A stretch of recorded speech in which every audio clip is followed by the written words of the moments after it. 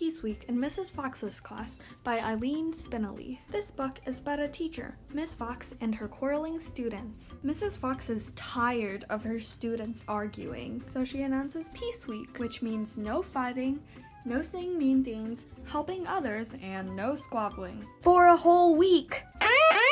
But soon to their surprise, little animals are finding that it's easy to help others, take turns, and say nice things, even when someone else is grumpy to them. Will wise Miss Fox's idea change the class's attitude? Will they continue to have peace after Peace Week? Read the book to find out. Peace Week in Mrs. Fox's class teaches a valuable lesson and has wonderful illustrations. It is also a picture book and is recommended to people who like fairy tales with morals. We hope you liked this video, and if you would like us to make more, Like and subscribe. also comment down below what other books we should do a video on. Thanks for watching.